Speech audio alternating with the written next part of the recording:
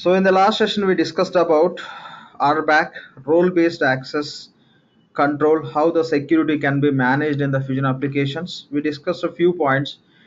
In case of EBS, the complete user access can be provided through roles uh, responsibility concept, where responsibility consists of menus or submenus.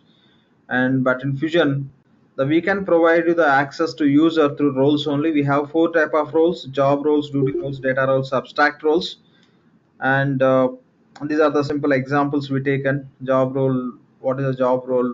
And what is a duty role? Abstract data role and abstract role. And we discuss some other relevant points also. And other point here is the data roles we have up to release 11 only. From 12 onwards we don't have any data roles concept. Through data roles what we can map that we will be doing in the from release 12 onwards through manual process and that's what we discussed. We have a security console where we can manage the users and all. Another point here we discussed we have a two type of users. One is implementation user other one is employee user. So in the fresh environment we cannot create the employee user. The reason and when you create the employee user we require legal entity and a business unit. By default we don't find any legal entities and business units until unless we create in the fresh environment. That is reason we have to start with the configuration initially with the implementation user which you can create from security console. With the implementation user you can set up required uh, configurations. Once you are ready with the legal entity and business unit when you say legal entity business unit along with that you have to get ready with the primary ledger also. So once you are ready with that information so that is the time where we can go and create the employee user. So employee user we create by using the function called as HCM. From HCM application, by using the employee user function task, we can create the user. So HCM stands for Human Capital Management. In terms of behavior or uh, the privileges point of view, so how it's different, uh, the employee user and the implementation user. When you talk about implementation user, being an implementation user, you can do all the setups and you can work on any process with respect to finance, implementation user cannot create the supplier sites.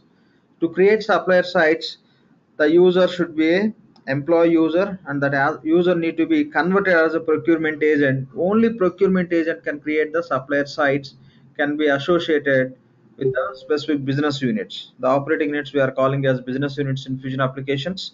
And when I talk about procurement side, only employee user can create procurement documents. Those can be requisitions or purchase order or purchase agreements whatever you just take as an example. Those all the documents can be created by only employee user not by implementation user. So these are the few points we discussed in the yesterday session.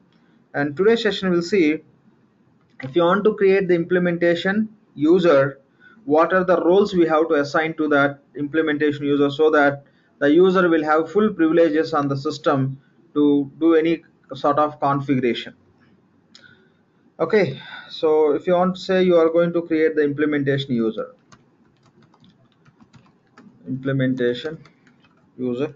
So you are going to create implementation user called as erp3 username is erp3 if you are going to create a user called as erp3 as implementation user from security console that's what we discussed implementation user you can create from security console. So what are the roles we have to assign to that user? So erp3 is going to work as a implementation consultant. So in that case very primarily we have to assign the three roles to the user. Three roles we have to assign to implementation user so that that user will have a full privileges in the system environment. The roles are application implementation consultant we'll talk about that. What is the purpose of each and every role first let me just list out these. Okay if you are going to create the implementation user okay what are the basic roles we have to assign to implementation user? One is application implementation consultant. The second role is IT manager. Okay. IT security manager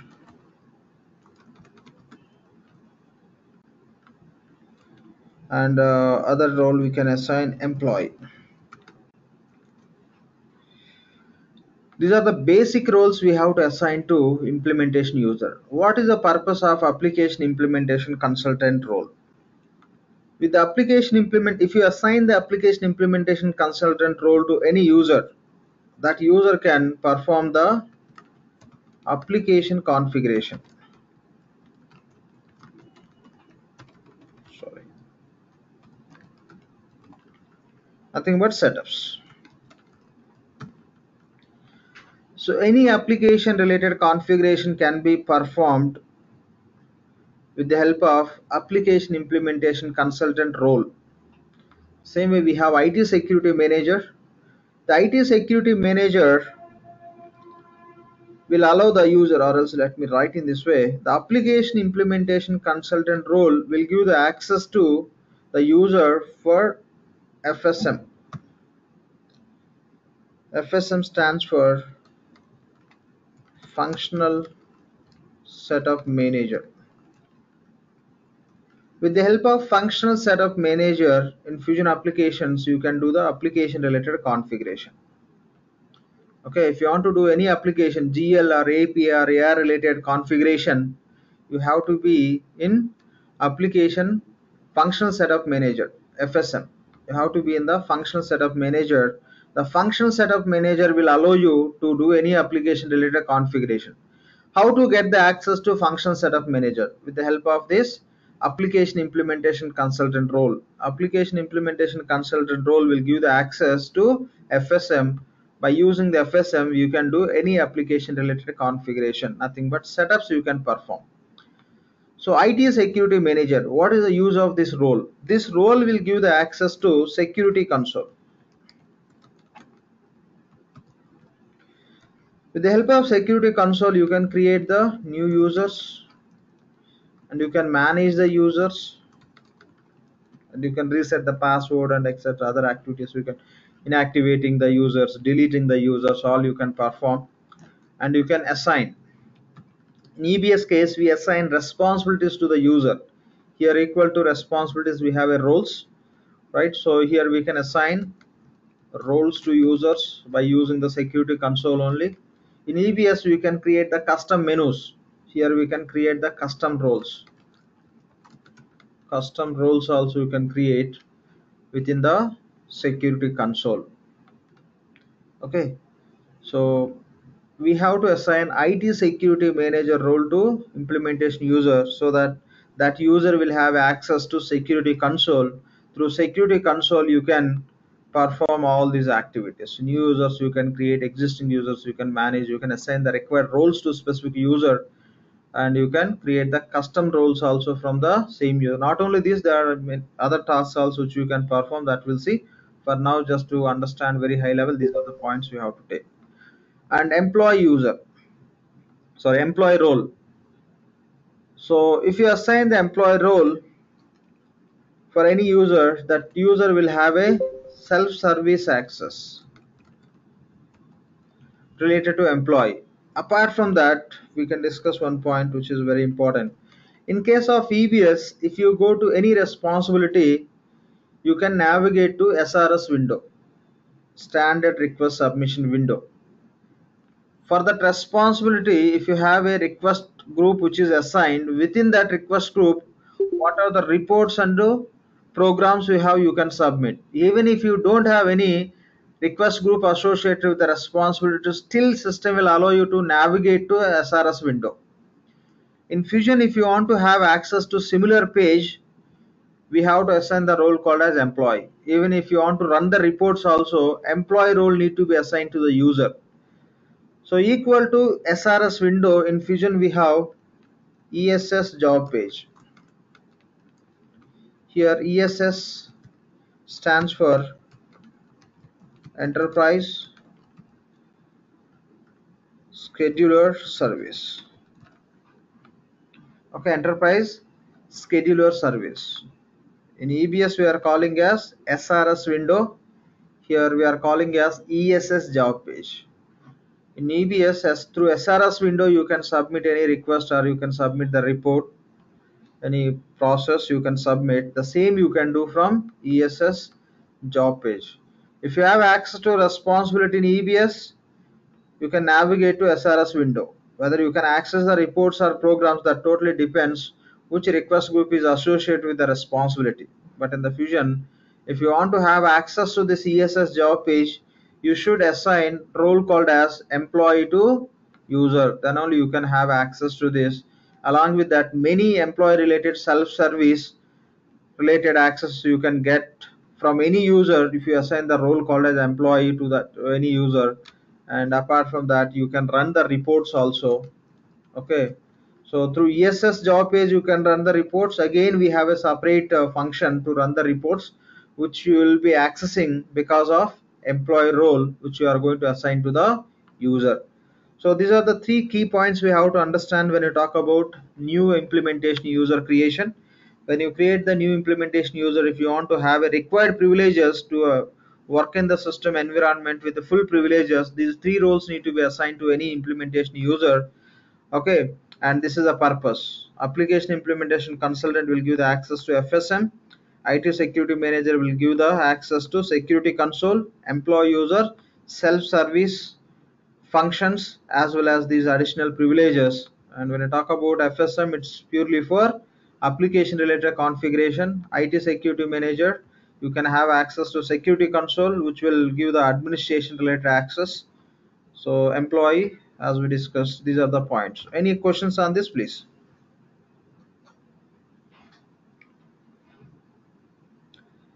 any questions here please?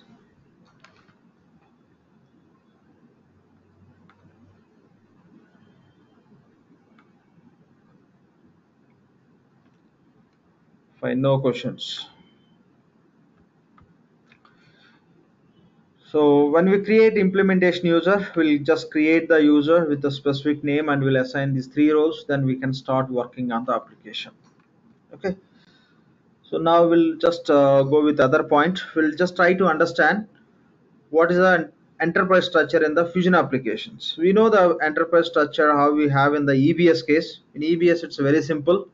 We'll have a application layer and database layer where the applications are directly connected with the database with respect to schema and within the schema respect to the forms or web pages however the application is designed and developed. But when I talk about fusion applications architecture is slightly different when you compare with EBS okay so let me write that same title. Say Oracle. Fusion architecture.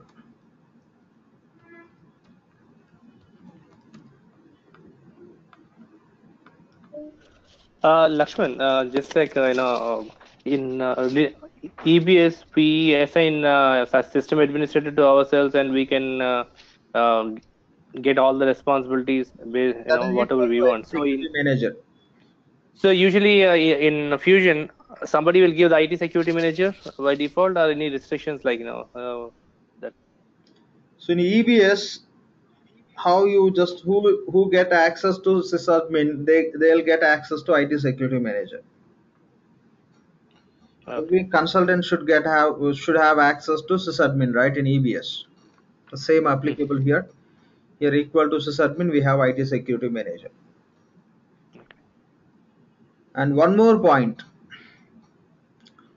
So we do the setups. We do the setups uh, we use the sysadmin. Do we assign any primary ledger or operating unit to uh, sysadmin in EBS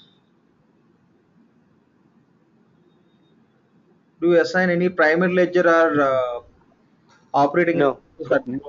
No. the reason is we don't record any transactions. Okay? The same way we don't assign anything to this application implementation consultant or IT security manager or employee.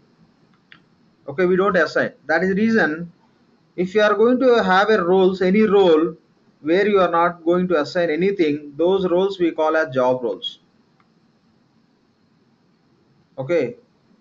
If you have any role which role doesn't doesn't require any access to your primary ledger or business unit or inventory organization those roles simply you call as job roles which are very plain which can be used for some sort of administration or configuration purpose.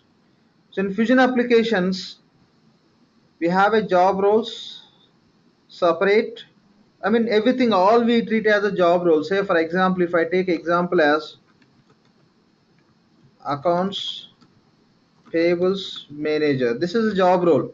But for this job role we assign business unit bu so when you assign bu this role can be used for transaction creation purpose but for this application implementation consultant IT security manager, we don't assign any primary ledgers or business unit. These always we can see as a just job roles. We never assign any data related privileges. Okay, so that means we have a separate roles here which we use for data transaction creation and which we don't use for transaction creation. Okay, so if you want to create the transactions, we have a separate roles. If you want to do the setups, we have a separate roles. If you want to do any configuration, we have application implementation consultant.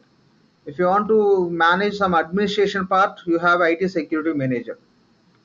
Okay, and if you want to create the invoices in the payables, we have a separate role. We have if you want to create the journals in GL, we have a separate roles. That's how roles are classified, which can be used for transaction creation purpose, which can be used just configuration purpose or administration purpose.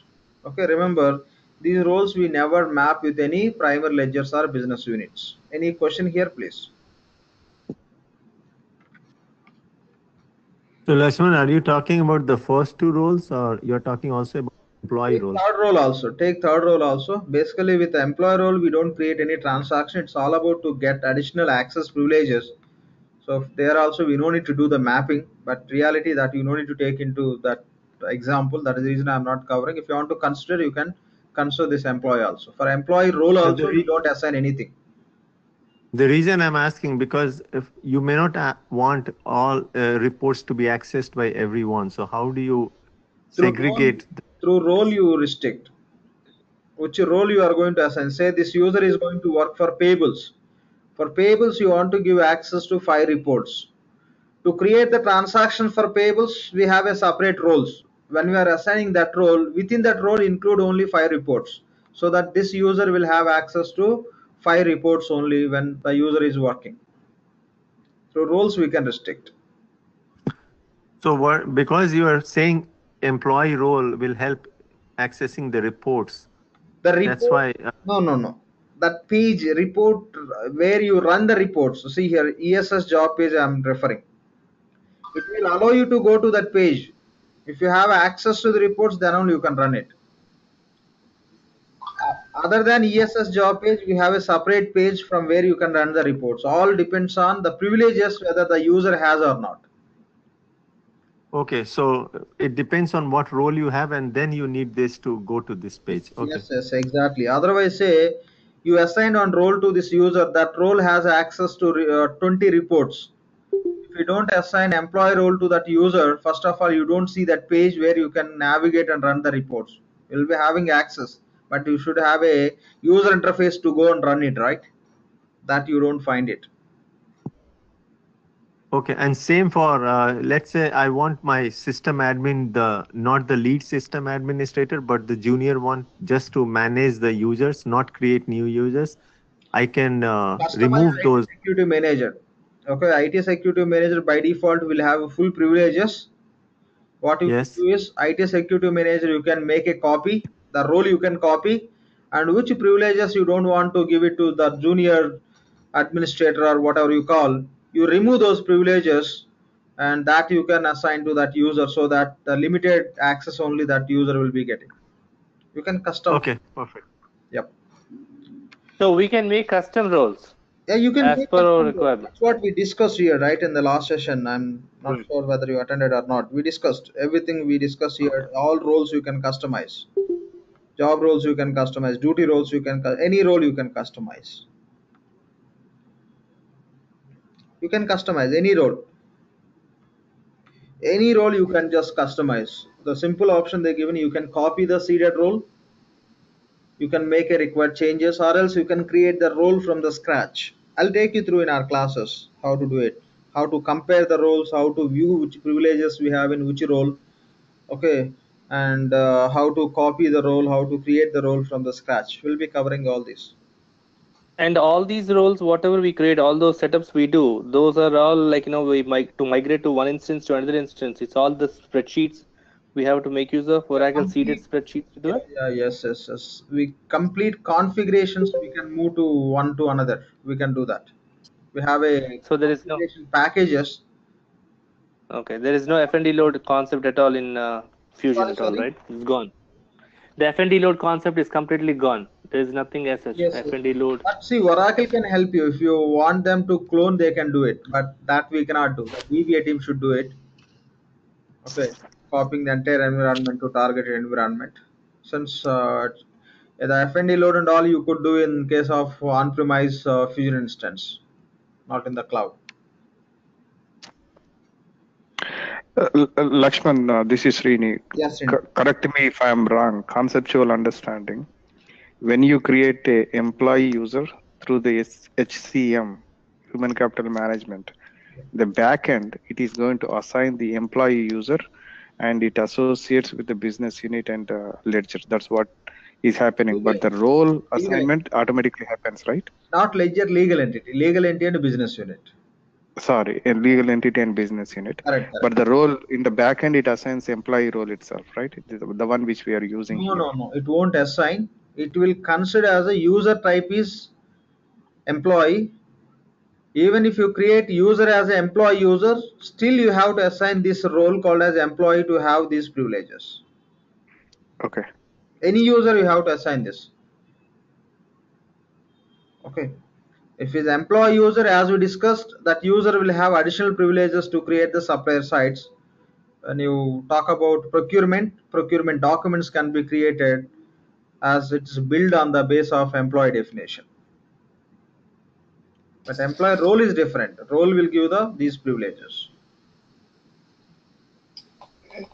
Lakshman, I have a quick question. Please. I created a employee. Suppose I want to establish myself a user. Step number one, I have to be created No, as employee. one, one, one, one request here, if you don't mind. Employee user part we'll see when we create employee user. That would be more meaningful if you talk about that. Once you see, you can understand more detail level. So now we are not going to deal with employee user in this stage. Just let's focus on implementation user. If you have any questions related to implementation user, let's talk about it. So very soon we'll be creating employee user.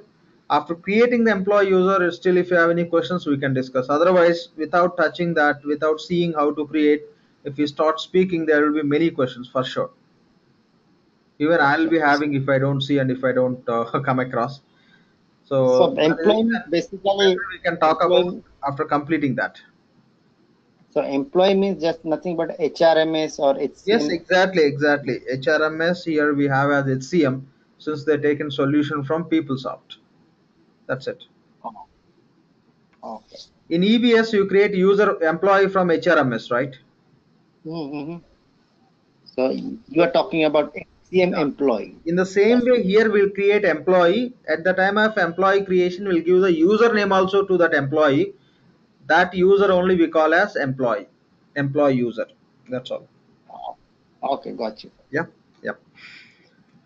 Fine.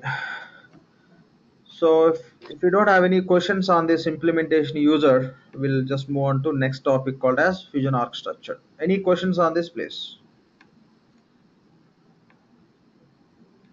So these are the key points which you have to understand before we get into the application. Once we are So, uh, Lakshman, one uh, final thing. So, basically, uh, what ESS is is nothing but the concurrent manager self-service. exactly, exactly, concurrent manager. Okay. In EBS we call as a request. Here we are calling as a job. Just front end they name it as a job. In EBS we have a request and request set. Here we have a job and job set. Okay, by just they, they are not using that uh, concurrent request naming convention logic. Now they introduced ESS Enterprise Scheduler Service. Okay, which works as our concurrent request. So any other questions here, please? And you can register the job and job just like you used to do that.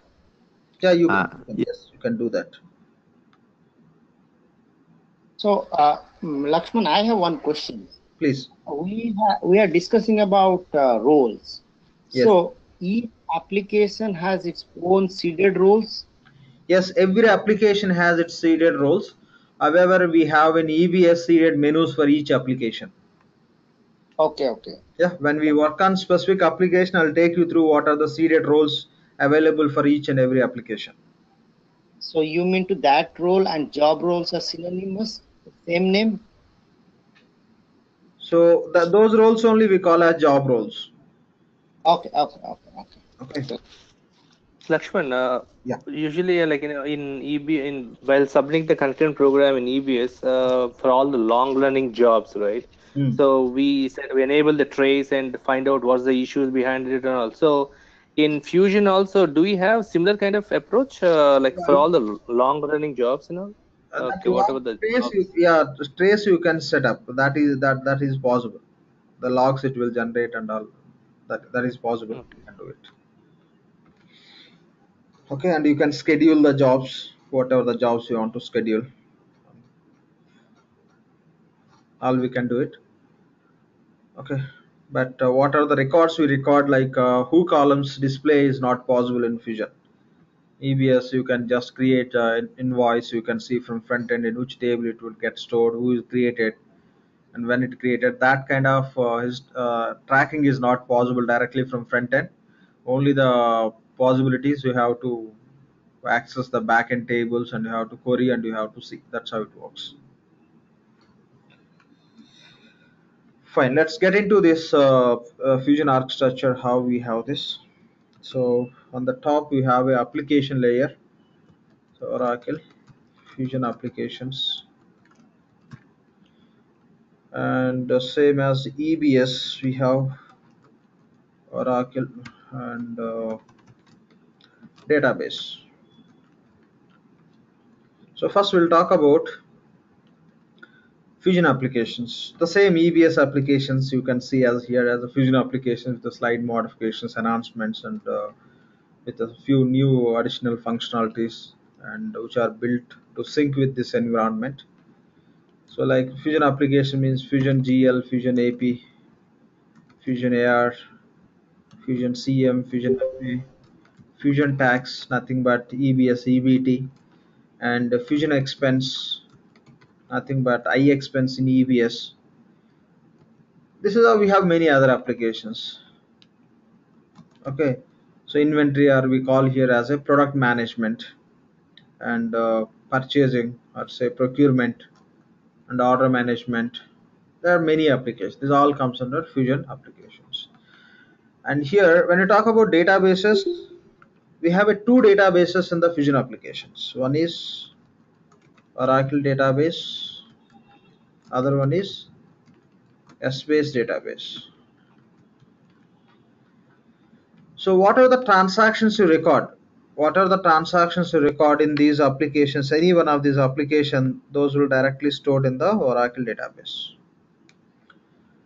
To when user is going to have access to all these applications, okay, the application access need to be controlled and there should be some administration part and in case of EBS say you are going to want to integrate one third party application with accounts payables what you do direct integration we build sub interface and will connect with the payables open invoice interface or else it is related to supplier supplier open interface will connect with any application so in case of EBS if you are going to have in, in inbound or outbound interfaces directly we connect through the respective applications. But in the Fusion, to manage the security related to user access or any third-party integrations, those could be inbound or outbound integra- integrations, or many other administration-related activities. If you want to deal in the Fusion applications, we have a another layer called as middleware.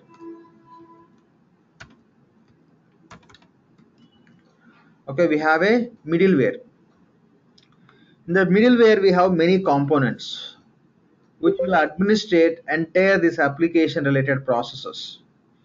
So when I talk about middleware, so between the applications and the database, okay, it's it's a basically it's these focused on application related administration part.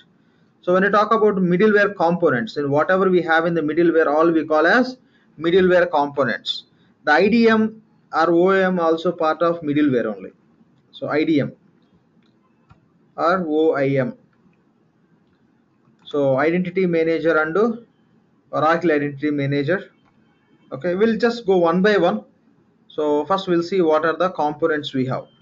So as a part of middleware we have many components but when we are working as a functional consultant on financials or any other areas of application what information we should aware that i am going to talk about it.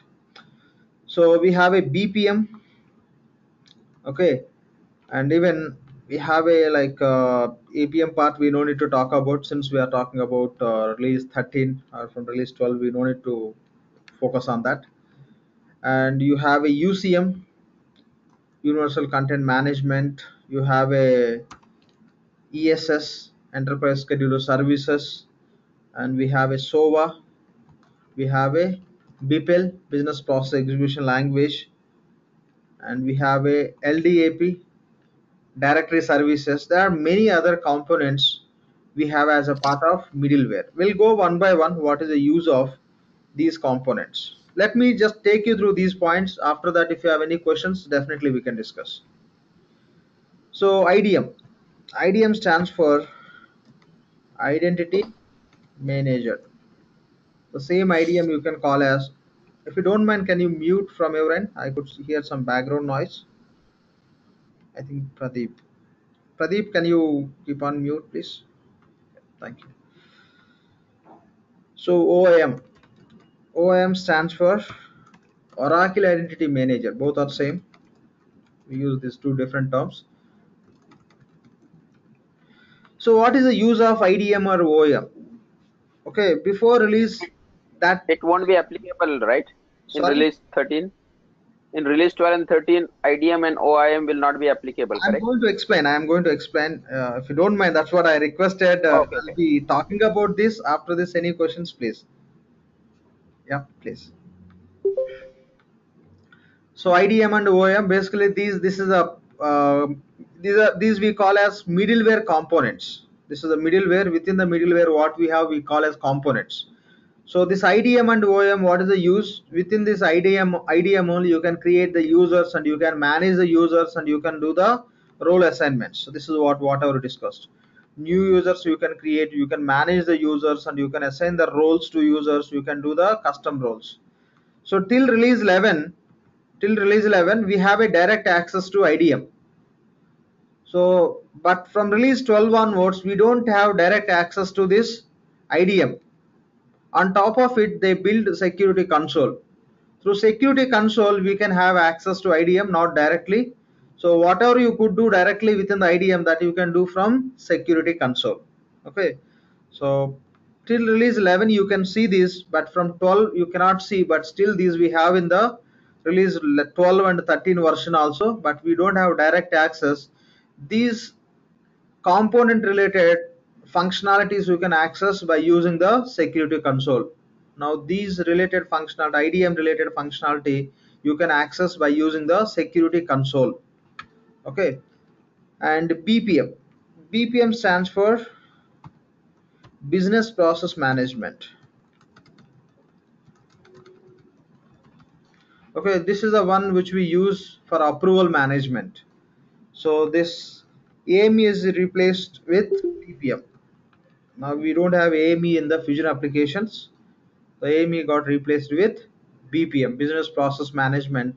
If you want to set up approvals for your GL journals or AP invoices or uh, purchasing requisitions, procurement related requisitions and purchase orders, for any approvals, any approvals we use BPM, Business Process Management. Okay, in EBS case we use AME, here we have a BPM, which is very simplified solution where you can write any sort of conditions or rules as per business requirement. These are not at all complex. They're simplified and they given the very simple user interface which is a flexible and where you can simply you can go and modify. It will impact uh, immediately. That's how we have that environment. Anyway we'll see as a part of our classes. And other component is ucm ucm stands for universal content management. In Fusion applications, for any data uploads, imports, and exports, we can use the UCM. Uploads and uh, imports. So you have a data in the Fusion application. You have a, some records. You want to export the data from the application, some large volume of the files you want to export, or else you have a data within the spreadsheet that you want to load into application. So we have a UCM, Universal Content Management, which act as a staging when we import the data or when you export the data from Fusion applications. Okay, we have a UCM concept.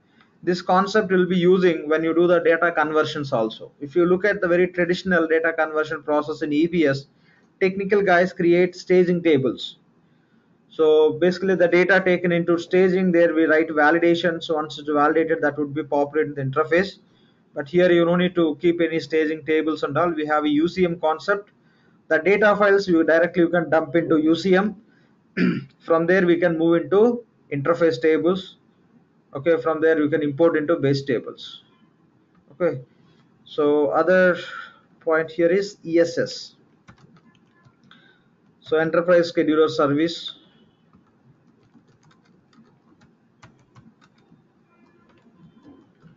scheduler service which is equal to concurrent request.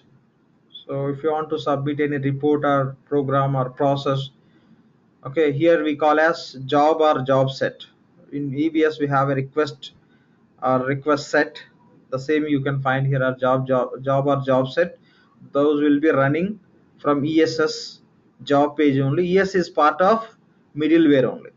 In the same way we have a these all are related to more functional the other and uh, these more related to technical.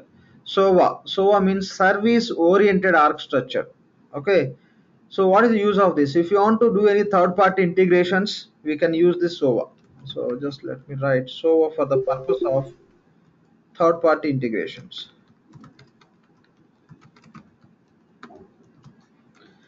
So by using the SOA service oriented architecture, this is just a plug and play environment. If you want to establish inbound interface or outbound interface from the Fusion applications, we are not at all going to connect any application, third party application directly with any, any one of the individual applications. We have to route that connectivity through SOA only. The first we have to plug that third party application data feeds into SOA. From SOA only you can do the mapping with the respective application. So that's how the solution they simplified when you are going to do the third party integrations. BPEL. BPEL stands for Business Process Execution Language. If you want to customize this workflows and all BPM workflows, we use this language. This is one of the language which we treat as a one of the middleware component. Okay, through this BPEL, Business Process Execution Language, you can use this BPEL for any BPM related workflows. In case of EBS, we have workflow developer. Through that, we can do any changes to workflow. In the same way, within the BPM, what are the workflow management we have? Business process related management. If you want to customize, you should be expertised in the BPEL language, then only you will be able to do it. LDAP, it's a directory service. In case of EBS, okay, so it is when you talk about LDAP, it's for roles purpose roles synchronization purpose. So in ebs say you have a user. You have a user you assign 10 responsibilities. So you can go to the front end you can log in with the same user you can have you'll be able to access to the, those 10 responsibilities. But in the fusion what happens is say you have one user you assigned two roles to that user immediately you cannot have access to those roles related privileges from that user what are the roles you assign to specific user that information should be submitted to LDAP directories. This is the directory service which is a part of middleware. LDAP stands for lightweight directory access protocol. Lightweight directory access protocol. So when we what what it will do is for any user any role is assigned that information will be updated in the directory services if any user is trying to access any assigned role the user directly will get connected to this LDAP directories, which is a part of middleware services. When you assign any role, we have to submit the request. We have to submit the job to LDAP directories to synchronize the roles as assigned to so and so user. If you just assign the role to user, immediately you cannot have access. The for which user, which roles you are assigning, that has to be updated in the LDAP directories, LDAP. Simply we call as LDAP in the LDAP directories that information need to be updated then only you can have access to user. You can user can have access to the required privileges. So these are the points we have to understand when you talk about middleware. There are many middleware components but we no need to focus on that since those are not related to functional. Primarily just we have to understand this idm and oim we have but from release 12 onwards we don't have direct access so if you are going to have access to security console in the background we have this idm only and BPM will be working directly. UCM also as a part of uh, data conversions. I'll, I'll show you how you can load the files in UCM. And ESS, all the jobs which you submit comes under ESS request only. SOA, this can be used only for technical aspect. Third party integrations is a plug and play environment. Any third party integrations you want to do that can be done by sova only. There are inbuilt in integrators and uh, web services there are many options within the sova depending on how you want to bring the data, how you want to send the data, and what data you want to bring, what feeds you want to bring.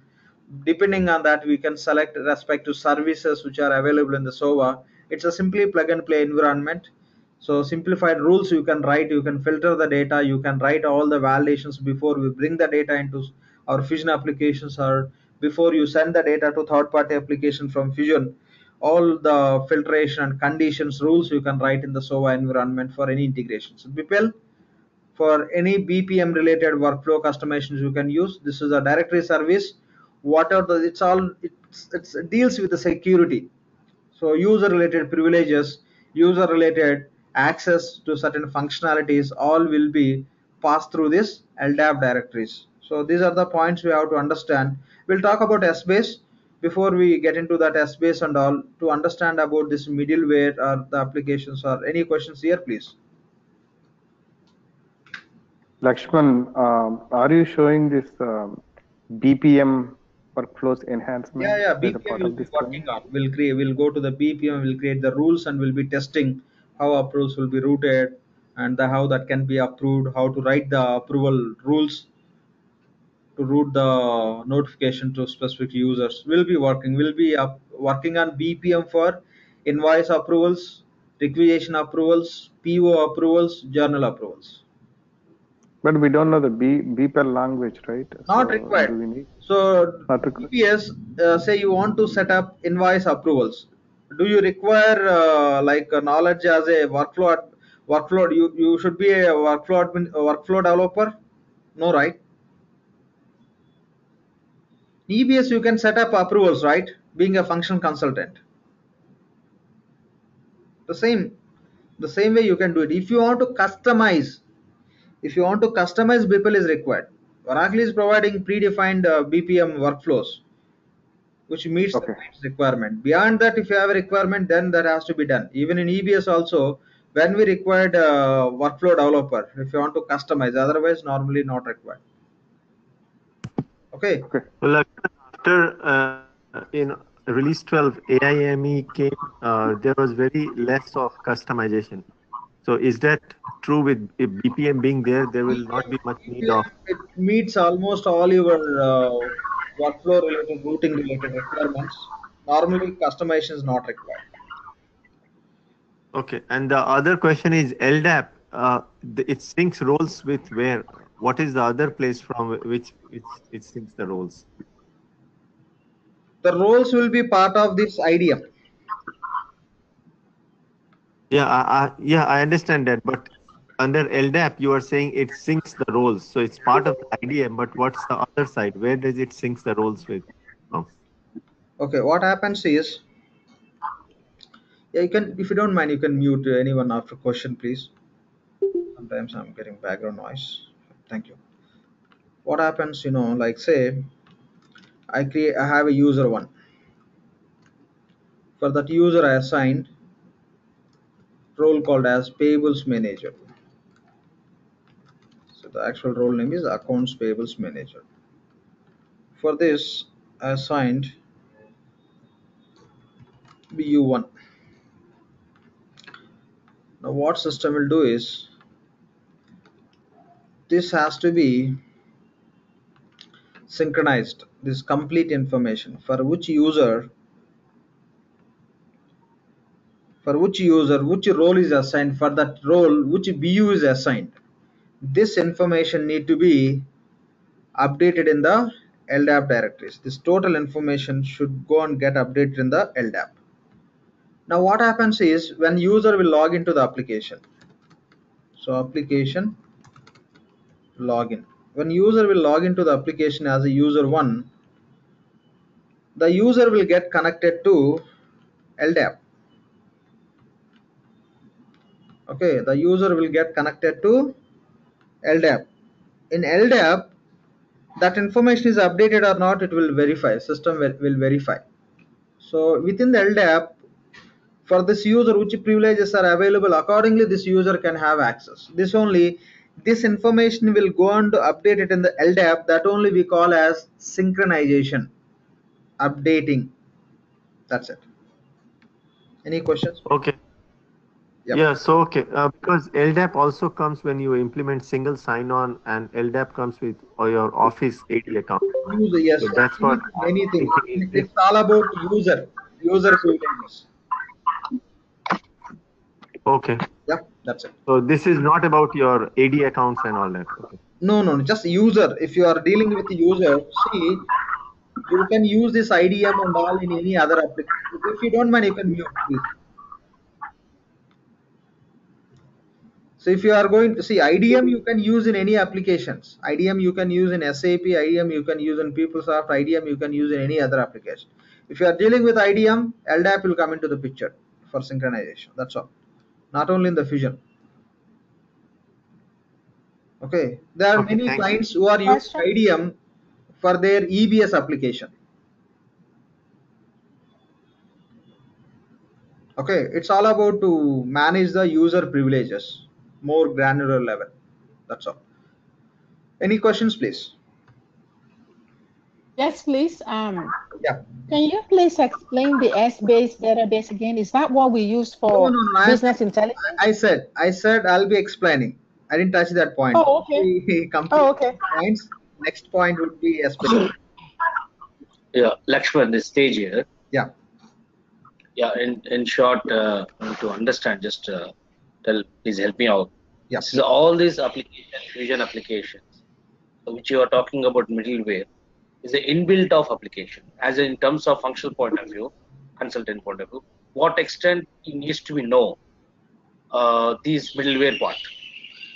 no we we don't require any knowledge on middleware so when we are working as a functional consultant i'm just going to mute i could hear some noise so when you are working as a functional consultant so you will be accessing bpm so it's always good if you are aware the bpm is part of middleware. That is the reason i am addressing the bpm is part of middleware.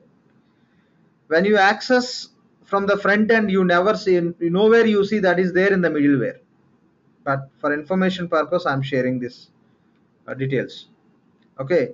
So when you are working as a functional consultant you maybe for finance or scm or hcm so we'll be working on security part which is built uh, security console is built on this idm okay anyway we'll be touching idm part as a security console. That knowledge would be enough.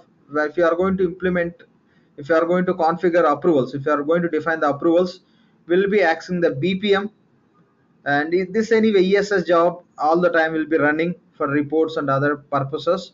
Ucm for data loads will be using. Apart from this you no need to understand anything from middleware. So whatever just i'm mentioning whatever require i'm mentioning i'm talking about it. If something else required definitely i should include that. So So Lakshman, when you say UCM, means to say like these are all the data conversions which we usually do in EBS, right? yeah see not it's for data conversions. Apart from data conversion for data exports and imports also you can use ucm we, we, we don't have in ebs right? Ucm we don't use uh, Okay. we don't have a concept called as ucm So here, Just an example, just an example. Uh, like one of the client which I'm currently working, uh, what they're doing is like they are uh, extracting the data, they're scheduling the programs uh, from Oracle Business Intelligence reports, and uh, the data, whatever they're getting it, they are porting, they're migrating the data to uh, Oracle Cloud. So, what kind of is in a approach they're using it in here as part of middleware? So what, what they are doing, they are uh, extracting the data from. Oracle uh, Business Intelligence, OB, uh, B- uh, BI, Okay. or Oracle O- eight- uh, ATLP or something. Because Okay. Okay. Oracle, Yeah, yeah, yeah. You go ahead. Just we'll see that. Come, let me just understand the complete process. What you are trying to say. Yeah, they're extracting the data from. O- they extract, they are running, they are running the reports. Uh, Oracle, uh, Oracle Business Intelligence BI publisher reports. Okay. So they're scheduling the reports, and that report data they're exporting it into a CSV format or any kind of a format. Yeah. and then uh, with uh, since uh, since they cannot able to do it, Oracle uh, they are sending a request to Oracle. So they are Oracle is taking care of moving the data from uh, it's a kind of FTP I think FTP SFTP or FTPS. Hmm. So they're u- they're porting the data to uh, some other uh, database instance. Okay. So in that particular process, like uh, You are talking about a fusion they are using or what? yeah, they're using Oracle Cloud Financials only. They have I have PPM, uh, they have financials. So uh, The currently I'm involved in the. They're using the fusion fusion applications, and in the fusion applications, yes, we have BI. So BI reports, yes, they can take into any one of any many formats are available. CSV. Once we they get the data, they can export that complete uh, definition into CSV, and that they, they can load into any targeted application which supports that format of the file. They can take it to any any other application because we have a capability in the fusion application to just uh, export the data in the required formats. Okay. The csv you are referring yes that we can do as a, at the time of ba report definition i'll show you that options. Okay you can just move from one instance to another instance also. They might be using some other uh, third party tool for reporting purpose other than fusion that could be the scenario where they're just ex- exporting the data. The files that directly they can dump into the targeted environment where the same information can be generated as a report okay Uh, Ramesh, uh, Lakshman, uh, yeah please question here. Yeah. uh, in terms of just, can you give an example? Like uh, you're talking about here, uh, identity manager, more security, LDTP, you know, uh, role syncing, all these things. In, in comparing to e-business suite, I'm not sure whether it can compare or not. Can you please add what kind of security value addition is coming here when compared to e-business suite system? see, see the point here is the point here the point is so you you say like you have a uh, five different applications so you have a one uh, you are using fusion applications you have a two three some third party applications two three third party applications users also you want to manage with the different different privileges how those should behave. And you can set up the rules and you can uh, manage that uh, security how the user access required. All you can manage in the single environment called as idm so the users when you talk about sysadmin in ebs sysadmin just you can create the user. You can create the user you can assign the uh, responsibilities that's how you can act you can uh, set the privileges here, here you can you can specify you can create the user and you can specify this user should be available in the so and so application. Again this user should have a like only read only privileges and all. There are many uh, security related uh, definitions which you could do within the idm but that completely goes into idm uh, uh, idm technical task but here whatever the idm security console task we are talking about functional task. You know if the if the client is going to use this idm and if they have a many third party applications all the different application related users they want to manage with the different security models they uh, they take one idm consultant separately. Even if you work for multiple project as a functional consultant you cannot become idm consultant being a functional consultant what we do we just create the users we assign the roles if required custom roles we can create. Idm is a separate part which you can uh, just build our own policies and rules okay? So many security related uh, conditions you can build when that user is going to get connected to so and so other applications. So that's how they can manage. Okay it's a So separate, in basic, in, separate application have, we don't have, where you can sorry, your sorry. own rules yeah please Uh, so if you don't have uh, like straight line, single business, and you know just a vanilla implementation, Hmm. uh, do you think that uh, this uh, or identity manager and all this is going to play a vital role? see that is the i mean see it could be vanilla implementation or it could be some uh, custom based uh, implementation. Idm is inbuilt. To manage the user security with the different uh, security policies if you want to customize idm that you can do it. But in the fusion application that is a inbuilt uh, component which is available as a part of fusion which will be just standing on the middleware. So that we use for user definitions and roles assignments customizations as we discussed that's all.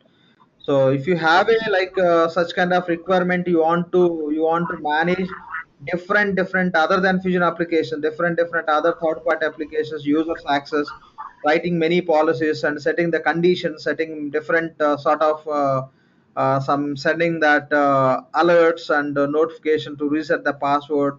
You have a different variety of security management requirement okay in that case you can have idm consultant. They'll be working uh, dedicatedly on idm but normal if you go with a cloud if it is a saas or paas mostly it's not required. Whatever oracle is providing that you can use it. If you have some sort of security policies and some security policies criteria etc etc that you may ask one time oracle they can set it for you with the simple rules.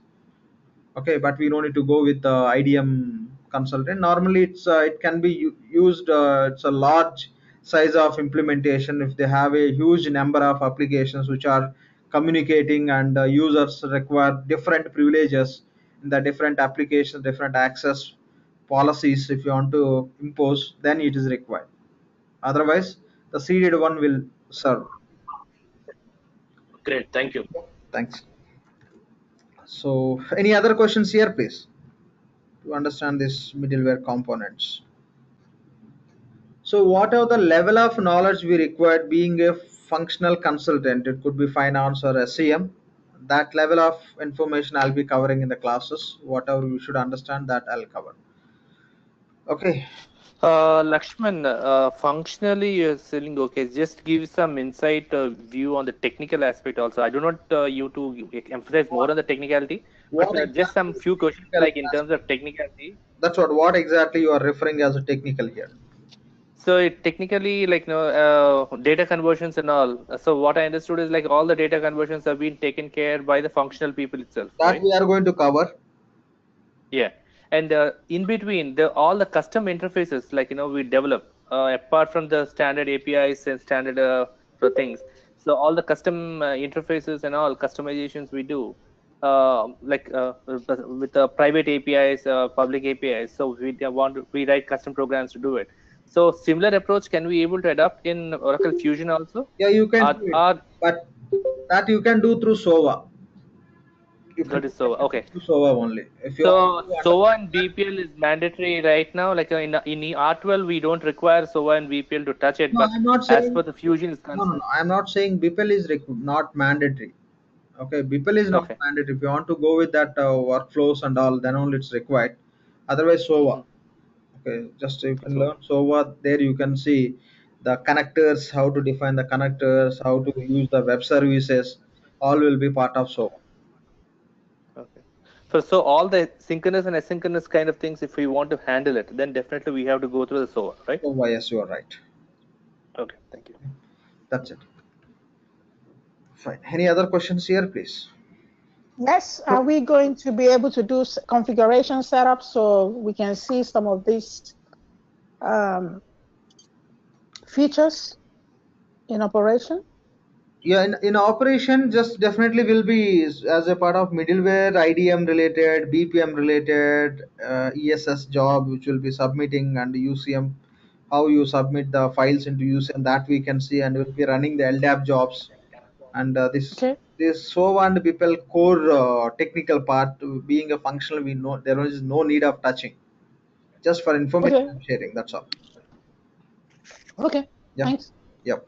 Lakshman, I have a different question though. Please. For the interfaces, certainly for the existing EBS system, the interfaces requirements point of view, we grab the interface fields and map it down with the external system Hmm. and we produce the requirement document. When it comes to the middleware usage, as a functional consultant, Hmm. we have to write the requirement document. Do our do we are going to get the adapters information in there, which which contains the No, no. fields information and map it down? See- How we how do we do there? simply you can write the function spec okay simply you can write the function spec it's all about the field specification right so you have to Yes. understand the other side the th- third party how the data records are maintained how that uh, specific feed is named in that uh, database tables. So that which uh, column need to be mapped with which our fusion column. These points we have to map. The rest how they do through more into programming. In the case of ebs with a less programming less it's a simple drag and drop options. The technical guys can find out in the SOA so by using that uh, simple technique they can drag and drop they can do the field mapping so it's a very simple task when you compare with EBS. Being a functional consultant, we have to understand the requirement which data feeds we want to bring into Fusion. Definitely the functional spec we have to prepare how we prepare in EBS. Apart from that, there is no new task which we get because this is a Fusion. Uh, my question is, do we have the interface tables in the Fusion? Yeah, we have we have interface tables. Everything everything remains same. If you don't have interface and interface tables, how the data can be uh, we can take into specific application. Everything we have as is. But before Okay. either the instead of you connect third party application to our interface table, first you bring the data into SOA, from SOA to interface, interface to base tables. That's how the logic will work. Okay, it's, it's, a, it's the same thing. Uh, what I was thinking, we are using APIs and adapters directly, not the interface tables. That's what I was thinking. So, okay. Yeah. Or, Oracle has introduced ODI. O So, so ODI you can do just map. Uh, Oracle Data answering Integrator. Yeah, through ODI you just map. This is my source column. This is my destination column. Just map one to one, one to one. Uh, so it will take care. Yeah, Uh, yeah. Data Google- loader. Yeah, with the data loader concept, yes, you you can direct. No, no, data loader, integrator. Yeah, integrator. O- Sorry. ODI, Oracle Data Integrator. Yes. Yeah, yeah. So you can uh, uh, Google it or YouTube. There are, you can get idea. Yeah, yeah. Through integrator, yes, uh, the you can direct mapping you can do and you can bring it to that. But uh, it's like uh, ongoing process. Uh, mostly we use this uh, SOA services only.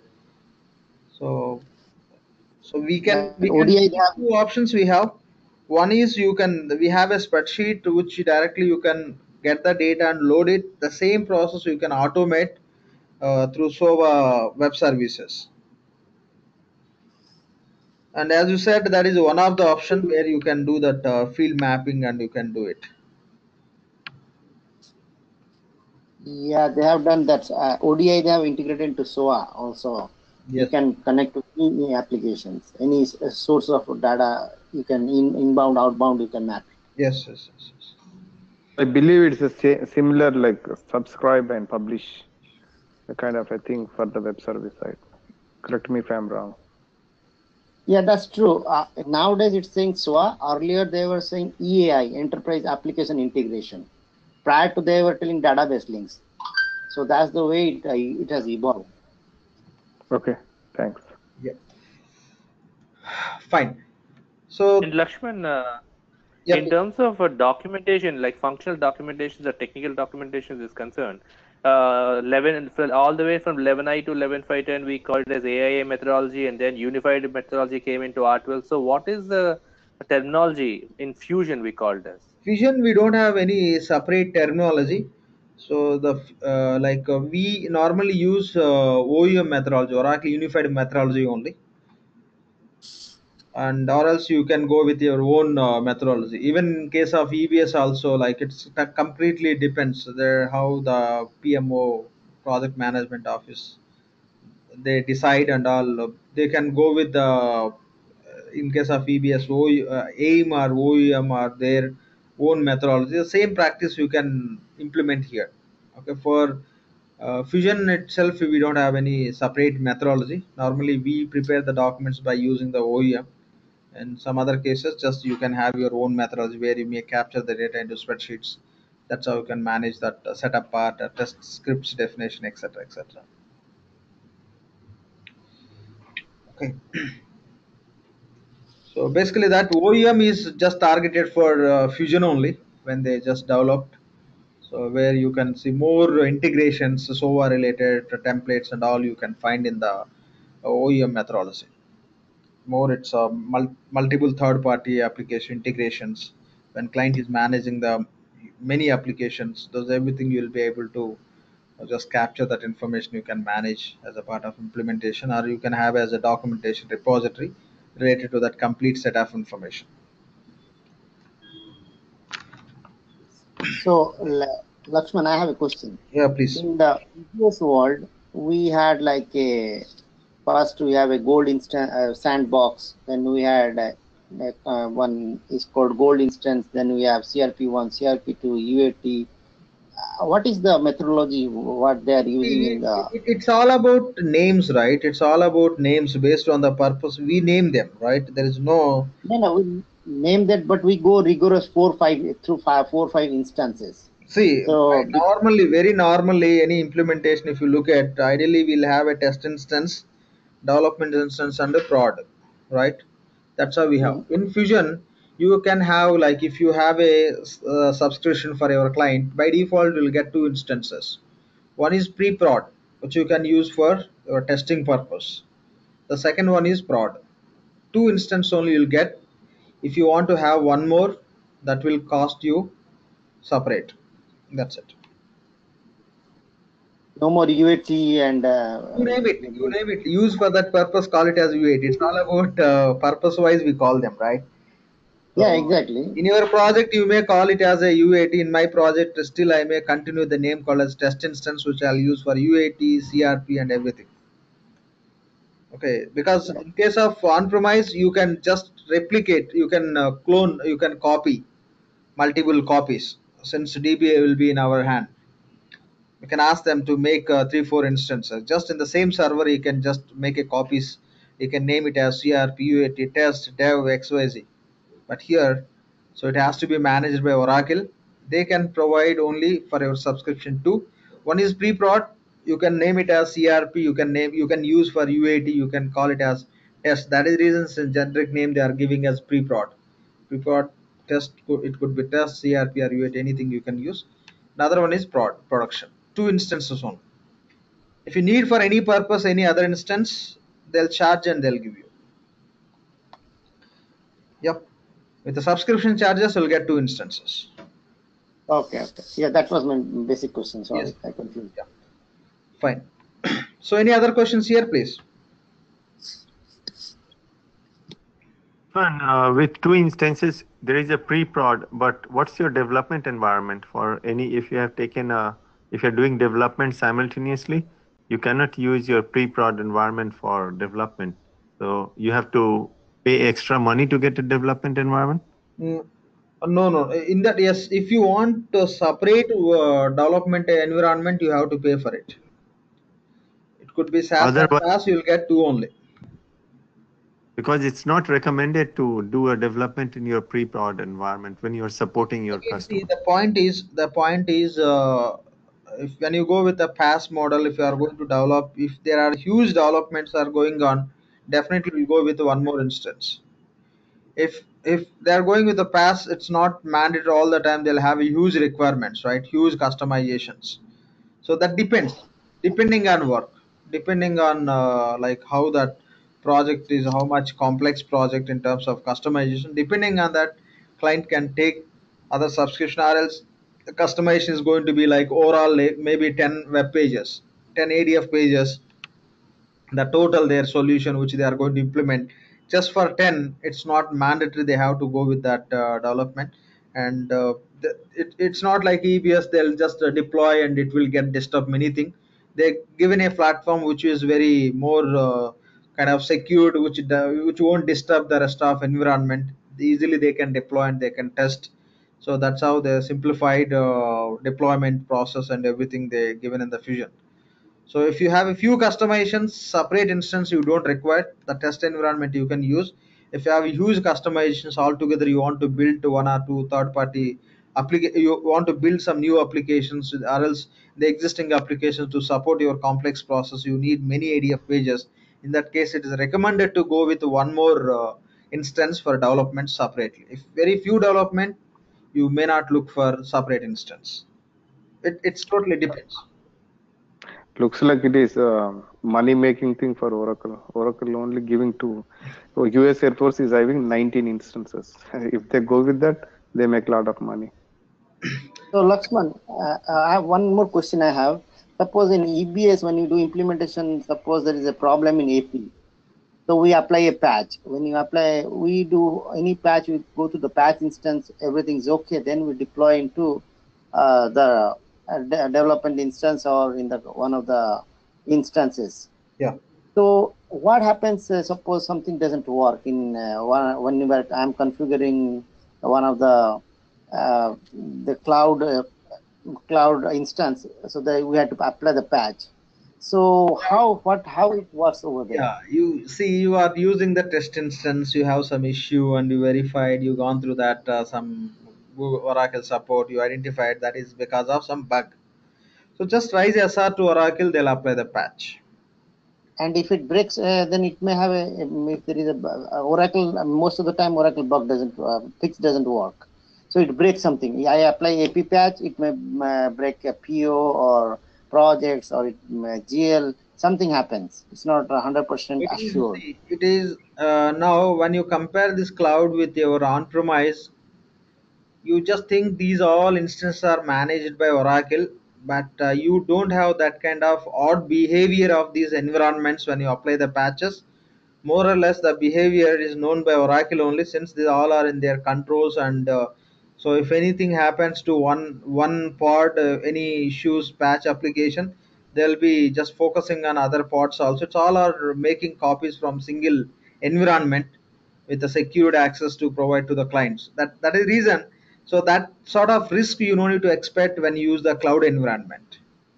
But reality, what happens is, so you, you are using the SaaS subscription, you have some instance issue and all. First, you they'll just clone your prod to test environment. They'll apply the patch. Okay, they'll apply the patch in that environment. They'll ask you to test it. If everything is working fine, they'll apply the patch on the prod. That is a practice only they follow. And sometimes even uh, if you have uh, many issues which you are coming across and all, they may recommend or you may plan to have one more instance that you may use just for uh, just cloning purpose to apply these patches and other instance maybe for your testing purpose for other purposes. So normally if you see in the market most of the clients are managing everything with the two instances only. One is test other one is prod that's all.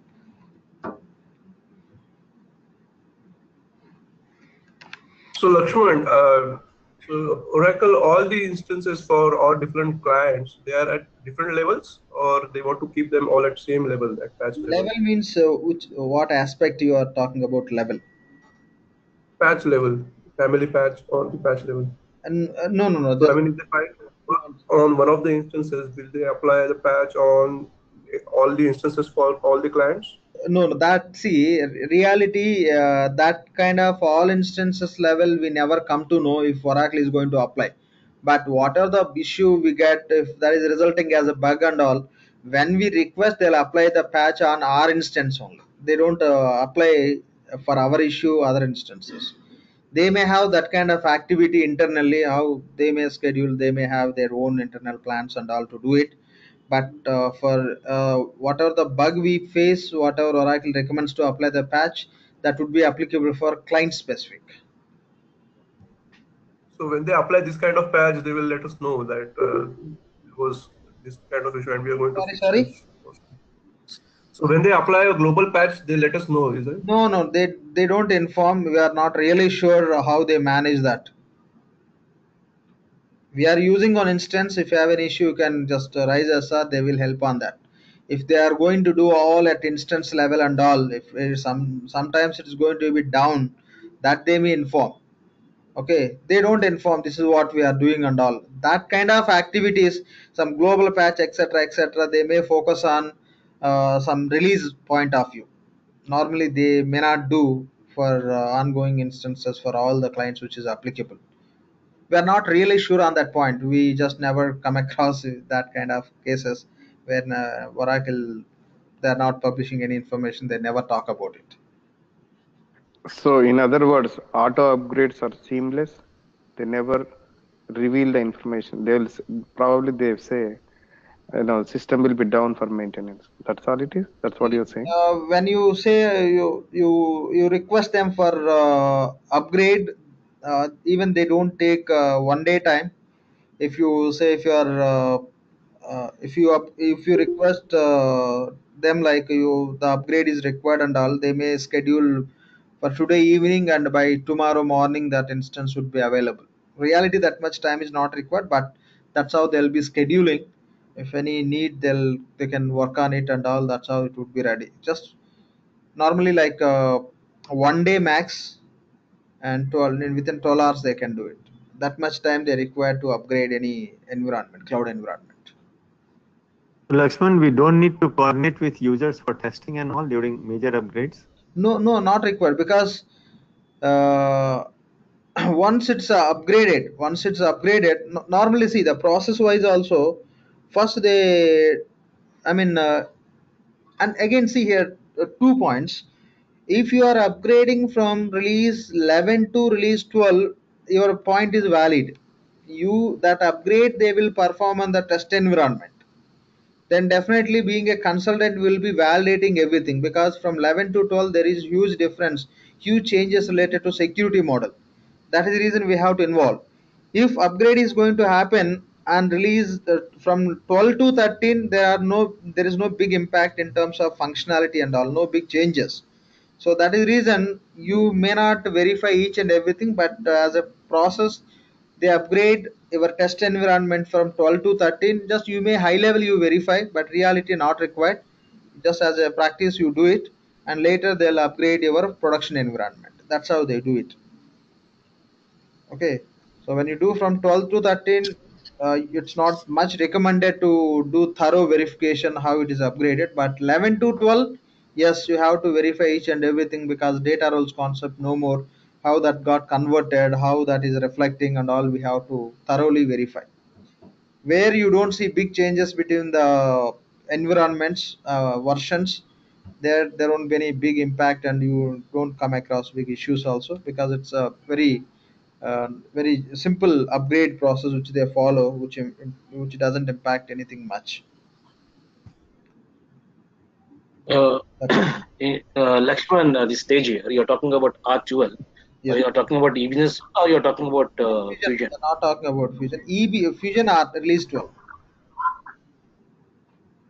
Release 12. Okay, okay, okay. But it's not possible for EBS to, to fusion, right? no no upgrade is there no upgrade is there from ebs to fusion Okay, thank you. only re-implementation Fortunately, there is no Apache bounce or anything like that. Sorry Fortunately, there is no Apache bounce because when you do some personalization in EBS, you have to bounce the Apache server, bounce the Now, HTTP no Apache servers in the Fusion, totally servers also they changed. WebLogic Oh. and many other servers they brought into the picture.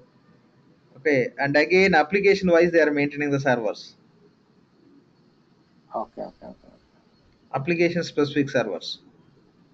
And Lakshman, it's totally our wish when we want to upgrade, right? Oracle cannot force you that you have to upgrade within No, this timeline. upgrade, but if you are going to stay back on the very, very older version, see now in market uh, 13, now you are in 12.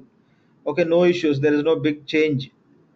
uh, again Oracle coming up with the 14 15 still you want to uh, just uh, continue with uh, 12 and if you are facing some issues at all then definitely they may force you or they may recommend you. Because there is a difference right? There is no good reason why you want to continue with the 12 only. Because that's a it's a simple task where they can help you. You can take the advantage of new version related features.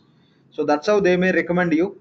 Otherwise if you don't have issues with environment even you are not uh, hitting them by raising the critical srs etc etc they may not force you. That's how it works. Now many clients most of the clients are release 12 And uh, also, Lakshman, what I see is like uh, one of the client, they are moving directly from 11.5.10 uh, to Oracle Cloud uh, 11 R13. 5 10 you are talking about ebs 11.5.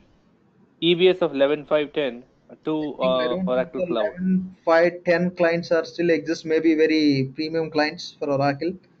Okay, Yeah. they want to move from 11.5.10 to Uh, Fusion R13. not possible.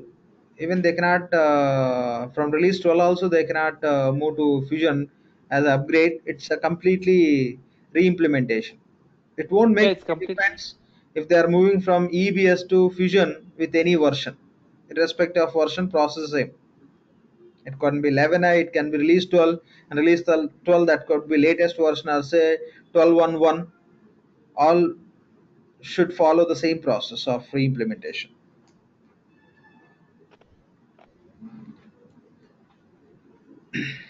Fine. So in that particular process, they're using the SaaS and the PaaS, right? Because uh, the data migration and all, they have to do it. From 11.5.10, uh, all the data they have to take it. Like uh, if you if client is using the third party application, if you are uh, implementing the Fusion, what practice you follow, the same you have to follow. Because client is using the Oracle product, there is no separate process. There is no separate solution. It can be 11i release 12 any version. So you should treat EBS as a third party application. Then you have to go with the implementation approach. That's all. Uh, Lakshman, this stage here, Yeah, Tej, please. uh, uh, in, in the, like, you know, in case of upgrade, you know, R12 to, uh, R, release 12 to release 13, uh, uh, cloud, cloud, we are the Yeah, yeah. cloud. So, so exactly, uh, this part will take care by whom actually? Who's going to play a vital role the upgrading part? See, like uh, from our team, like uh, we'll have we'll rise SR. So your project manager may rise SR, or else you are a key consultant in the project. You'll rise SR. You'll have a call from Oracle. We'll just talk on that. We'll be just they'll be asking us when you want to schedule this upgrade. So we'll talk about in this uh, weekend or so and so date. We'll we'll talk to them. They'll they'll give the confirmation and they'll inform us not to just use that environment uh, not try to access. Uh, even, even they'll bring down and they'll just convert and they'll be circulating the email saying that the task is done from their end. And first they'll do for uh, test environment. They'll ask us to verify. And once that is done if everything is work if you find everything is working fine then we'll request them to do the same on the production. That's all So, we'll keep you have any? uh, cloud team when you rise uh, SR by specifying this information, this would be routed to cloud DBA team. There'll be allocation, right? They'll be distributing the SRs based on the what it talks about. Uh, so in that process, it goes to DBA team. We'll keep in touch with the DBS. So, in case of in uh, in case of cloud also, we will be uh, organization has to keep uh, database guy in our team. Yeah, because yes, cloud because they are going to upgrade, right? They are going to upgrade.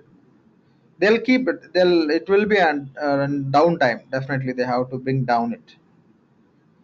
because simple see some patch application and all there are many techniques where they can keep live and they can apply and they can do it but it, it's uh, going to the activity on entire instance that is reason like uh, non-working hours will plan it or off weekend days if it's going to off uh, like on so and so day these are the timings where we can plan for this uh, upgrade not in working In hours case in terms of functional role here, so do we have any program like where No, we no, can no, check nothing, absolutely nothing. right? Just you have to communicate to them and you have to schedule it. Once that is happened, they'll in- inform us. You, you may verify in the environment, uh, test environment as that is upgraded to latest version. If any features are uh, different. Any uh, new features those are impacting or not these just you have to check. And you have to give a confirmation saying that yes it's cool it's working fine. And we could see that impact of the upgrade on this environment but everything running smooth. This is a confirmation you have to give. Then you have to tell what time you prefer to upgrade that environment. Uh, you have to put a request they'll do it for your product that's all. No activity you have to perform other than communication with a uh, oracle. That's all. Once they convert you have to you may test their test environment. If you see there is a huge difference between the older version and the latest upgraded version. Otherwise the basic level go to payables uh, create on invoice create on payment and test. Go to other applications. The basic flow you may test you may take uh, off day time or one day time that sort of testing you have to do for finance. Okay fine. So if you have any questions we'll discuss uh, before that let me talk about this Essbase. Okay so when i talk about Essbase why Essbase is required here? So in fusion oracle release uh, introduced the hyperion reporting hyperion reporting which we call as uh, financial financial reporting studio. And within that we have other reporting called as smart view which you can prepare the reports in the spreadsheet. So so we know in oracle database we can store the transactional data.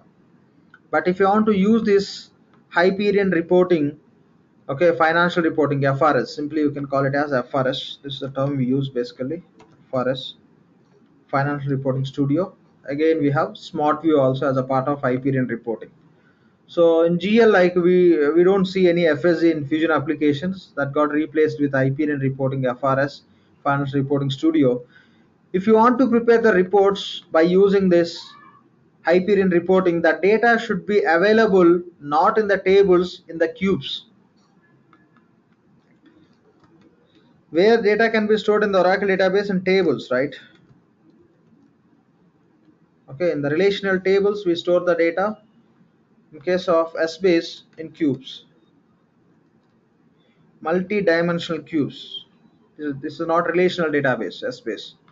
So if data is available in the Essbase, uh, we can prepare these reports. But when I talk about our Fusion applications, data will get stored in the Oracle database only.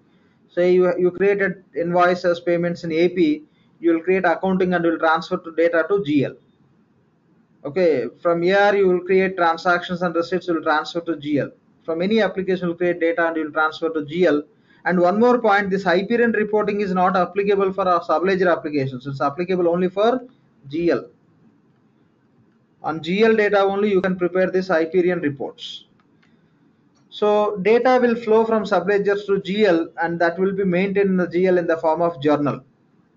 So when data is available in the Oracle database in the GL schema, that data what we do is we'll move to Essbase. GL data, GL data will move to Essbase. So what information will be sending? The primary ledger data from Oracle database will be sending to Essbase database so if you have a 10 journals in the GL, automatically, you have a 10 journals you posted, automatically that information will sync. The information will be transferred to Essbase database. If you have 100 journals in our Oracle database, 100 journals which are posted in our Oracle database, the same 100 journal related information would be available in the Essbase, in the cubes as a balances. This is the database which we use to maintain the balances since the information would be available as a balances based information through Hyperion reporting, simply you can prepare the uh, reports. It's a very faster reporting which you can see in our classes. Just anyway, we'll see how to prepare the reports. So Hyperion reporting, financial reporting studio, by using this, you cannot prepare the reports based on the data which is available in the Oracle database as a part of GL schema. Okay, basically journals information if data is available in the tables that is the reason so oracle built automatic synchronization. Whenever you have a journals information which is posted, automatically goes to Essbase database and that information will get stored in the cubes. Okay, so period you can call as one cube, segment you can call as one cube, and currency you can call as one cube. Okay, this is how the balance type you can call as one cube. This is all we call as cubes. In EBS, Oracle database, in the tables, whatever you have a columns, the similar columns in uh, Essbase database we call as cubes. So that's how the cubes can be maintained within here. The cubes won't be part of any table, but when you talk about Oracle database, the columns will be within the table only. Can you find any column directly without referring table? No. But in the Essbase, okay, equal to columns will have a cubes, but cubes won't be part of anything, just it will be lying in the Essbase database. But here, when you talk about Oracle database, columns will should be part of tables, tables will be in the database. Here, directly cubes will be in the database. So multi-dimensional cubes we call just you, there will be flexibility to use those cubes in any dimension. So whenever you have information in the Oracle GL tables, that information automatically goes to Essbase. Whatever the data is available in the Essbase, based on the data, you can prepare the financial reporting, FRS Studio reports you can create, or else you can create the reports in Smart View. Smart View means you can prepare the reports by using the spreadsheet. So this is the purpose why we have Essbase also in Oracle in Fusion applications. Any question on this, please? Yes, I have a question. Please. Um, you know what's going to be easy for us to understand this is to whenever to creating transactions in GL and then have those transactions we see them in the Essbase and then we dissect the Essbase data to see how that data is structured in Essbase. That That's going to give us a good understanding of cubes. functional front they are not giving any access. This is a completely automation. They build inbound synchronization. You don't need to touch any Essbase only just when we are you just you can go and use these reports. When you create these reports from where we are accessing the data to understand that point i am talking about these uh, information okay So we can we cannot drill down to Essbase just to see the data. we can drill down from Essbase to Oracle database. Mm. However, you can drill down to nice. GL2 subledger application. So whatever the data you have in Essbase, from where the data is coming, source is Oracle database only. From Essbase to Oracle database, transactional database, we can drill down. That is possible. But I mean, I no need to do single activity, single task. We no need to perform in terms of this Essbase synchronization. So yeah, what I'm trying to say is with no database is columns, you have tables, you have rows. But this cube, I still don't get it. I know you say it's multidimensional way Yes, of storing data. So that means we're looking at data from multiple views. Yeah, yeah. I still I uh, still don't get it though until I see a, a typical example. If yeah, I see the data from GL, it's a new for us, new for us since we know Oracle database, definitely new for us. So since that is a cube, individual columns you can have in their space, there will be great flexibility of dragging those cubes for any variety of report preparation. So when we prepare the report, you can see there as a cubes. Okay, at the time of uh, just accessing the application, will come across that. But if you want to understand what does it mean by multi-dimensional cubes in Essbase, you may Google and you can Uh-huh. get more information on that. As a part of our classes, that information really is not required because we are not going to see, we are not going to touch this process, how it works and etc. So uh-huh. when we work on our uh, configuration part once you create our primary ledger and once you submit our primary ledger in the fusion system will trigger a few processes jobs to move this primary ledger definition into Essbase database. The jobs you can see the programs you can see that also automation you don't need to do anything manually. So it's everything run in the beyond the screens automatically. You have a 10 one journal created in the fusion gl you post it it goes into Essbase database also. For that you Uh-huh. don't need to do anything. Okay? Okay, cool.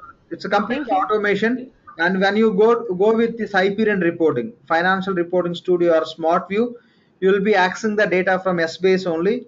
So from where we'll be accessing the data to understand, we are discussing this point from Oracle database, data goes to Essbase.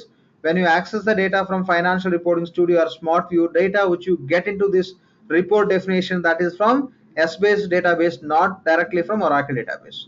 To understand that point, we are discussing this. So there won't be any FSG reports in this.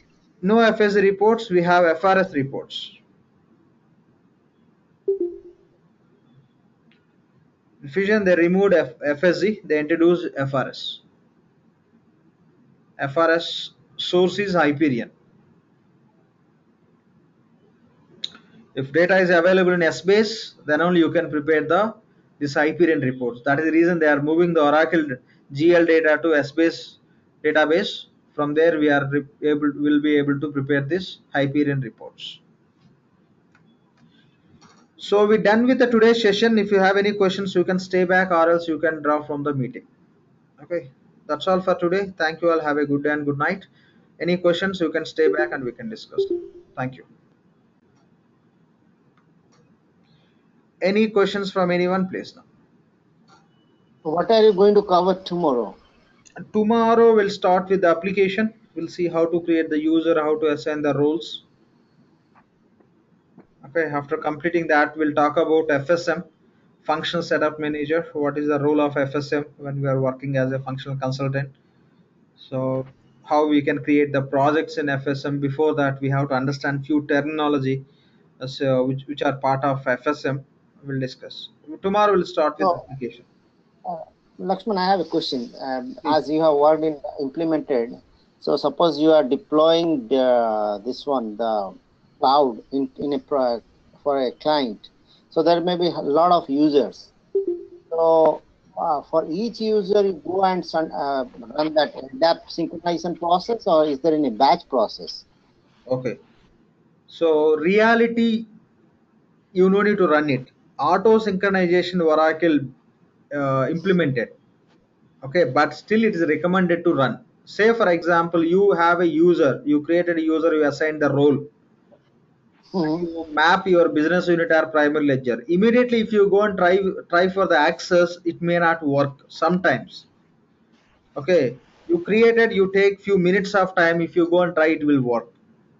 So instead of going and trying and getting experience of some uh, where system won't respond as you expected, what Oracle recommends is you have to you better you can run that LDAP job. So it will synchronize if something is pending to synchronize. And again, that LDAP, the synchronization will run at instance level, not user specific. If somebody is running, say you created few users, you created assigned some roles, even I created and some other user also created. Say 10 people are working on the instance, 100 users are created, many roles are assigned. Any one of us can submit, it will synchronize everything. And if you run that synchronization, I cannot run at a time. Okay. Okay, okay. And you mentioned something when is created, you assign view or something. Your voice is low. Uh, there is some noise going on. Yeah, coming, but uh, somebody is uh, unmuted. I'm not sure who did that.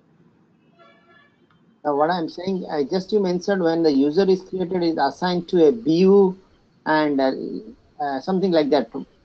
See, repeat that one? what we do is BU we assign to role, role we assign to user. However, we assign operating it to responsibility through profile option, pro- responsibility to user EBS.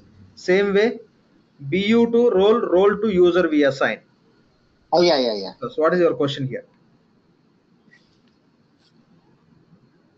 No, what is your question? I got, I got my answer. Thank you. Okay, okay, yeah, fine. Hi, Lakshman. Uh, are we going to discuss the enterprise org structure? Yeah, we'll discuss. We'll discuss uh, before we start with the, the relevant configuration. We'll discuss. What we'll do is, so tomorrow session will focus on user creation and role assignments. User creation and role assignment. We'll look at security console and all. So in the next session, we'll talk about, and tomorrow session, if time permits, we'll talk about FSM, After discussing F, uh, about FSM, so there is separate task which need to be performed. After completing that, we'll talk about enterprise structure. Enterprise structure, how to create enterprise structure in the Fusion applications, which is equal to multi-org in EBS. Similarity I'm telling, not exactly, but how you create multi-org similarly, you have to create enterprise structure, what are the changes and all we'll be discussing. So after discussing this, then we can start with the basic configuration. Our calendar creation, chart of accounts creation, primary ledger creation, legal entity. Once we are done with the primary ledger, then we can go with the one by one application. This is the sequence. Okay, yeah, thanks. Yeah, thank you. So Lakshman is Pradeep back here again. Yeah. So yesterday I didn't get that this video, our class video. So See, just uh, that's what uh, we had a discussion also in the today's session itself. If you guys are telling yeah, in the received, if you are saying not received, you may verify the mail uh, from our team whether you received or not. But anyway, today along with the today's session, I mean, including today's session, you'll be getting the email once again today. You can expect within half an hour. okay, thank you, sir. One, the I first, missed. second, third I session. I missed You also. today's session. We'll, we'll, we'll make sure that everybody will be getting today. Uh, it should happen Okay. also, but not sure. They are telling the team is saying uh, circulated. Um, just anyway, we'll we'll send within half an hour. You'll be receiving four session videos. Okay. Okay. So today's session is fourth session. So one to four will be sharing. You can expect within Oh. half an hour. Okay. Tomorrow when you're doing the going doing the user creation and the FSM, correct, correct. can you can you come up with a project? You know, like um We- a scenario. Project still we have a time. Once we just No, no. What I what I mean what I mean is while you're teaching this, you come up with a scenario. definitely. And then- I'm yes. I'm saying yes. Okay. Okay. sorry i'm saying yes It makes it user creation and Yeah. not required. We have to see how to create the user. After that these are the points we have to understand. Then we'll create our own project and we'll create everything our own. We'll be working in our own environment how we come up uh, what strategy what process we follow when we do the re- real implementation for any client. That strategy we follow. Okay. yeah. So we'll Lakshman, go with that this is step. Ravi. Uh, apart from uh, the front end access, right? Do we get the database access also to see like what the tables and how the data going on? You'll, do get get, you get database access also Okay. you can get it you'll get full access to instance okay full privileges no restrictions Lakshman, uh, this is Preetham here. Uh, so for, for the LDAP, you told uh, the request or uh, in the it, it runs on the instance level and uh, it is automatically scheduled or it is uh, it automatically runs. I mean, is it some concurrent program we have Yes, to run it? exactly exactly concurrent program only Okay, and what is the name? i'll i'll i'll show you in the instance if you want to know like there'll be job called as retrieve ldap changes Okay, and it is specific. Simple. Go to that ess job page and Yeah. search as a ldap the first there will be three jobs it will display. The first one you can select. That name you could see as a retrieve latest latest ldap changes. Okay, and it uh, I mean the same concept was there in EBS also. no. Uh, I'm not sure. EBS we don't have. Ebs we don't have Okay. Okay. And uh, uh, second question is, uh, you will be going through the multi-org setups uh, in Fusion. yes that we call as enterprise structure Okay, you will be showing in the instance. yes yes we do everything we do everything if you get a project what you have to do as a consultant in the fresh instance all uh, will will go through in our classes Okay. And uh, last question is, uh, you upload all the videos in YouTube. I think the last all three not. sessions. all not i generally upload the videos in youtube before i just uh, i go and touch the instance once i touch the instance i don't upload in youtube but all the videos again uh, uh, from initial sessions also i'll upload in the uh, google drive Okay. okay all videos i'll upload in the google drive but initial three four sessions normally we upload in the youtube that's all Not all. Okay. Yes. Que- question. Please. Uh-huh. Do we, is there subledger, SLM, subledger, Accounting. um, yeah, SLA? Yeah. We'll have it in future? Yes, we will will touch base on SLA also. It is same as Okay. EBS. Slightly they change some naming convention. We'll go through it. Okay, Yep. good. Yep. All right. If you can please just sometimes, if you can slow down a little bit for me, I really appreciate it. Yeah, yeah. I'm struggling, but I'm getting a bit more comfortable now.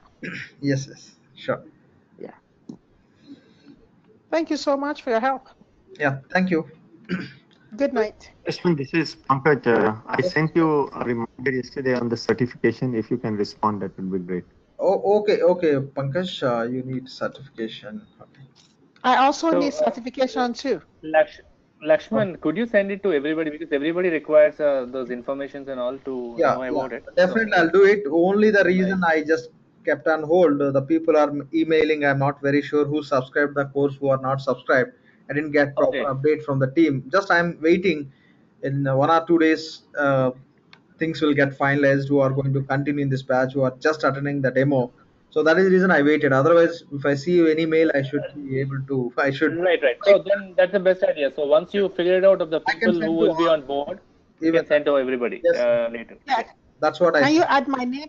Can you add my name I'll, also? I'll be I'm sending to interested. all. I'll be sending to all who subscribe it, who are going to Okay. continue this batch. Everybody will be getting. Okay. Yeah, Lakshmi. I mean, I'm also waiting on that. Sure, sure, sure. I'll do it. I'll do it. Today I'll get that uh, list of participants who already subscribed the course. I'll be sharing with everyone. If they require, they can go ahead with that. Otherwise, just it's a simple mail to everyone. That's all. Yeah, we'll do it. Any other questions from anyone, please? Okay, seems to no questions. Okay, uh, then see you tomorrow, same time. Have a good day and good night. Good night. Thank you. Thank Thank you you, so Lakshman. much. Thank you. Thanks. Thank you, Lakshmi. Bye. Take care. Yeah, thank you. Thank you. Bye. Thank you.